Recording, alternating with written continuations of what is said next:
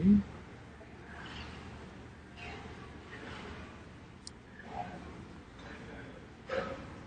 It's cool sitting on the beach. Saw the tide come in. There was that sandbar that I walked across, and then like about 20 minutes later, it was almost uh, under. Try to get a crab. I found that it's whole, and I saw it pop out quickly, and I tried to dig it out.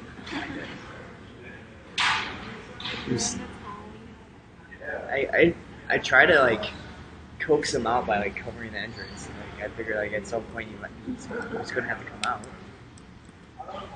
He waited me out. He won. He probably has like an underground tunnel system. No, I put a stick down there. It ends. Did you poke it? I don't know. It was a very flimsy stick, but Maybe it it did actually. It's kind of cool.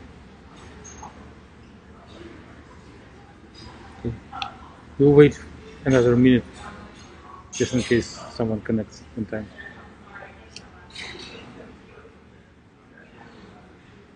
Did you commit any uh, other form of entertainment rather than running? I swim Oh, and bike.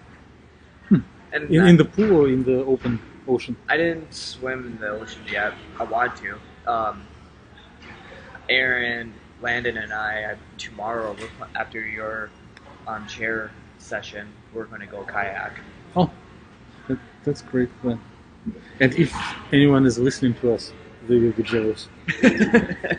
oh, trust me, my girlfriend's not too impressed with me right now. It's our one year today, Oh, whatever. and it also dropped four inches of snow up back up there. what, what are you supposed to do about that, though? We're down here relaxing on beaches and stuff, and they go through a winter storm. Perfect.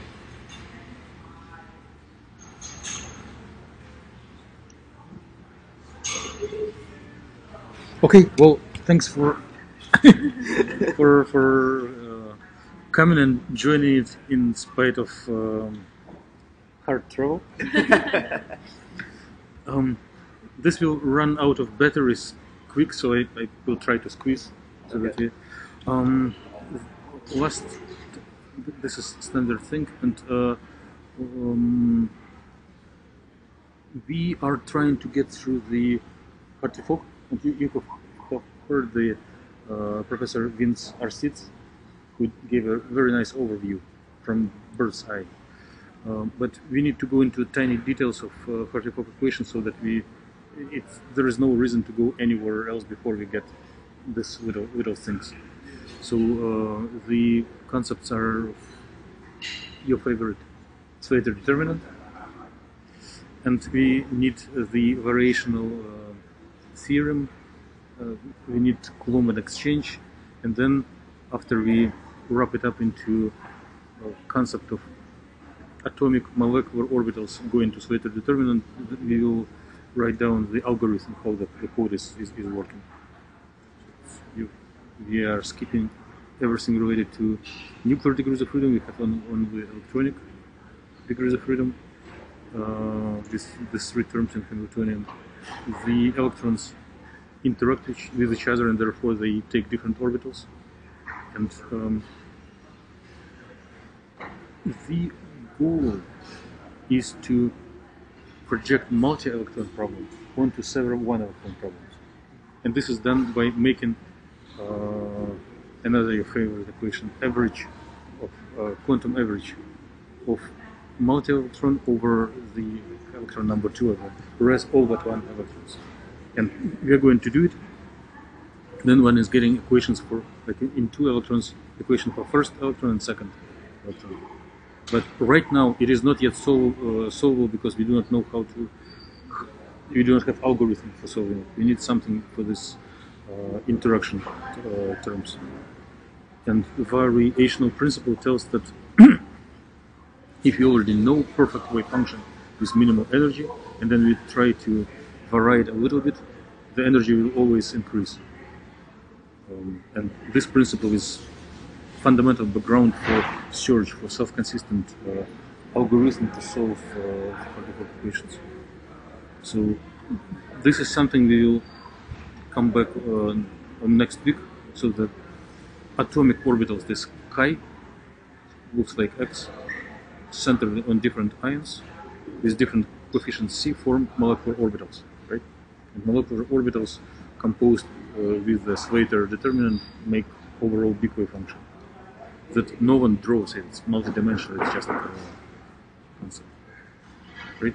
Atomic expansion coefficient, molecular orbital, overall wave function. And the variation principle of slightly varying orbitals or wave function until you get the right one is applied by optimizing those uh, C coefficients. So we need equations that will help us to update these coefficients until we are happy with them. Some, um, it is not for pen and paper; it's for computers, for uh, programmer in a bathtub, same, same, same style. And uh, there will be equations very similar to Schrödinger equation with the letter F instead of H for uh, to glorify Fock. So last thing we overviewed before departing from class last time was that if we practice Slater determinant, if our wave function is Slater determinant, and we want to practice a way to find total energy, we put operator in between and Bra and ket uh, on the left and right of the wave function. And due to antisymmetry of, of Slater determinant, there is an artifact. It is uh, I was going to collect your signatures to uh, for, for a surprise that everyone believes that electrons repel each other, that electron-electron interaction gives positive contribution to energy because they have the same charge. But due to antisymmetry, there there are terms with negative charge. So sort of electron electron interaction that stabilizes the system. Negative. It is a big surprise. So, and it is why Hartree-Fock is better than pure Hartree. Okay. So I don't know. I, I had some comments, but we can go. So it was was done. What was done before? What what we are doing now? I'm going to show the same two terms that we overviewed. One is um, I just want you to surprise you, therefore I will show it in, in a second later. And there will be pictures so that you do not uh, feel bored. So there are two types of contributions to Coulomb interaction. One repelling, another attracting. And we do have equations for each of those. But those equations are so boring for everyone that uh, uh, smart people recognize it, find a way to represent equations in form of pictures, and got a Nobel Prize for it. So if you hate equations, do not worry. Nobel Prize holders hate them as well.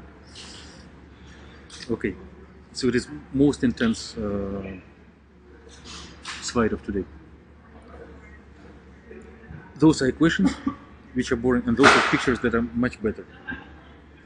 So um, here we have the repulsion of, of two electrons. So it is at site 1 orbital 1, at site 2 orbital 2.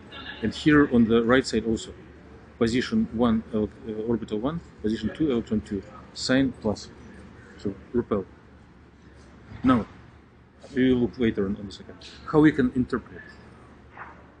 Electrons are very rarely sit in, in some locations. Sometimes, most frequently, they move. And if electron is moving and there are no interactions, it will move on a straight line. Right? But here is an abstraction.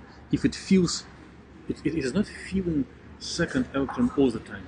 It just randomly feels it for just one short interval in time and then forgets about it. So it scatters. One electron scatters from another one. So it, it goes up, bumps into second electron and, and goes to different direction. Reasonable. Right? But the second electron also bumps into first one and goes into different directions. So they just come in and out. Very natural. Repulsion. If like two billiard balls collide, they will run into different. So the lines are freely distributed, freely moving electrons, and this wavy line is their bumping, their in- interaction. basically Feynman got Nobel Prize for, for things like this. Here, everything is natural. We, we, we- can follow it, right? But how do we interpret the second term, which, we, which has negative thing? So we know if we follow equation, position 1 orbital 1, position 2 orbital 2, and after interaction, position 1 orbital 2, position 2 orbital 1. So the electrons swap their badges after interaction.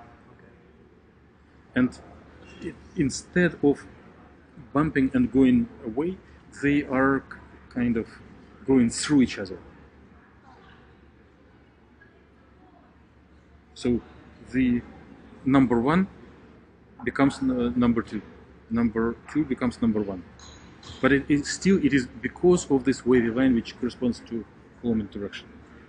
So the first one is uh, true Coulomb.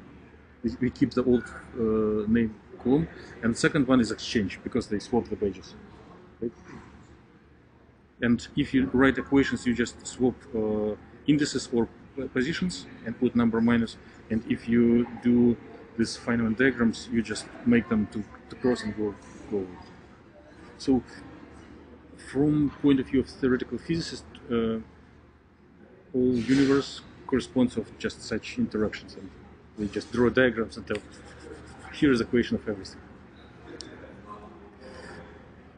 So, what are we going to do? Right now, we have very strong baggage. We have all, all components, and we need slowly go to equations that we will be able to solve. Okay, so we need to uh, equation one electron equation, which takes into account influence with another electrons, and we need to remember uh, we need a procedure that makes a hybrid operator. That is not an operator in the second electron but still operator for the for the first electron. So we we are going to practice it and we are going to practice it towards our Feynman diagrams towards the Coulomb and exchange so, um, well forget it I'll, I'll show next time this is what, yeah, this is what I like. So this is um, same equation as we had before for, for Coulomb. So, but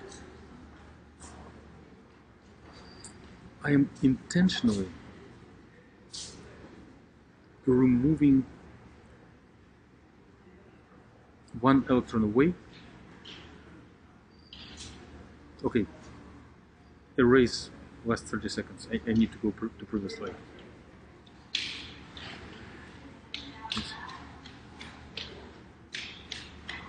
So if you want to find total energy, we need to integrate over all electrons, first and second.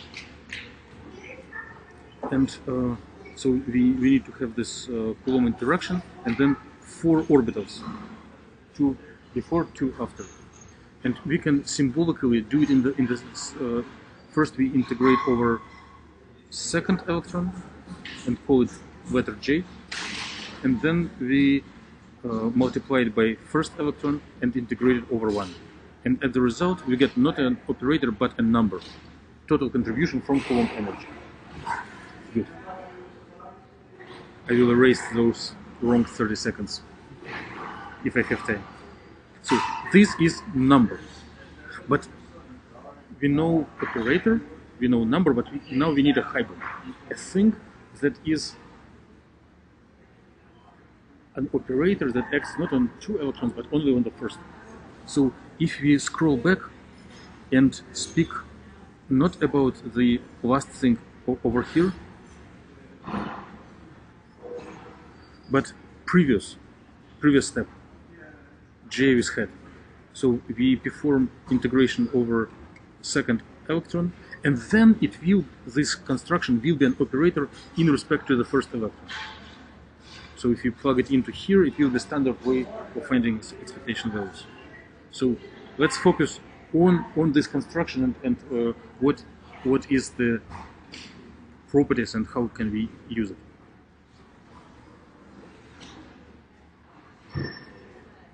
And if you if you want to do same construction for exchange, we just swap swap indices and put minus minus some same.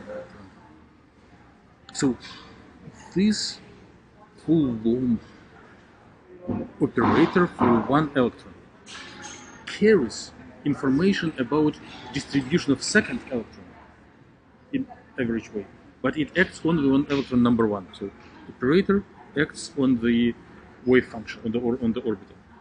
So operator here acts on the on the wave function. We know that this uh, overall Coulomb interaction should be described by this Feynman diagram. But how do we implement into this diagram the integration over position of second electron?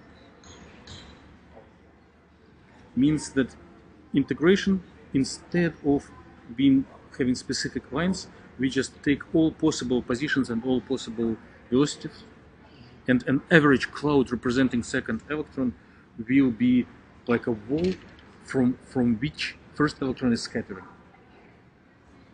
Okay, so is structureless wall that provides scattering of, of the first electron away from from from from here. So repulsion means it bumps and scatters away. So this is Coulomb one electron operator for Hartree-Fock.